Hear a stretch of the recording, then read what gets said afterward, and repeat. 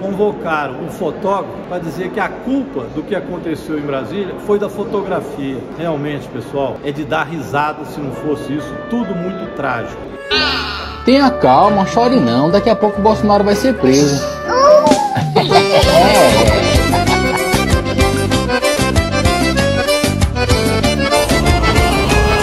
Sinceramente, não dá para levar a sério gente desse tipo. Aliás, são os mesmos que falavam que a Terra era plana. Agora estão capotando com as voltas que o mundo dá. Quinta-feira vem o hacker. Aí sim nós vamos ver na CPMI muitas denúncias que envolvem o próprio Jair Bolsonaro pedindo para falsificar ou invadir ou invalidar urnas eletrônicas. E na semana que vem está preparado para vir aqui o Sargento Reis, é aquele que está também com as contas todas emboladas, pagava a conta da Michelle e participou dos atos golpistas aqui mesmo em Brasília. Só rolo nesses bolsonaristas. Podem ficar sabendo, a CPMI está avançando e realmente o tiro no pé que eles deram, eles já estão vendo que doeu.